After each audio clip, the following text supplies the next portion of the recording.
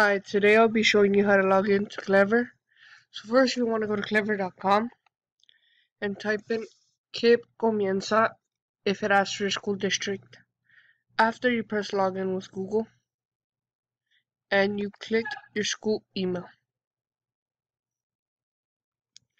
Once you're on your school email, you scroll down until you find Amplify. You tap Amplify and it takes you to log to log in.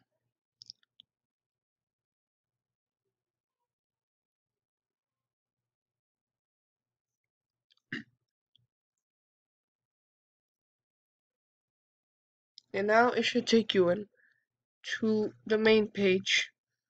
This should take you into this. And that's where you'll be finding your units. Click on a unit. You click with chapter.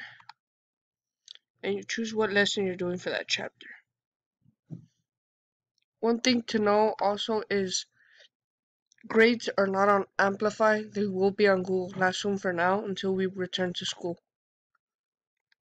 So, grades will be on Google Classroom, not Amplify.